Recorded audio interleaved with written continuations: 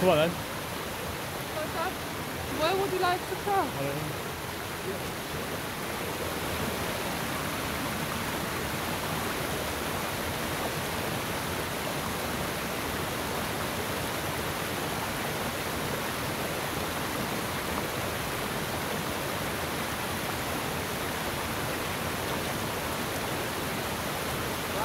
Let's go here, not to bed.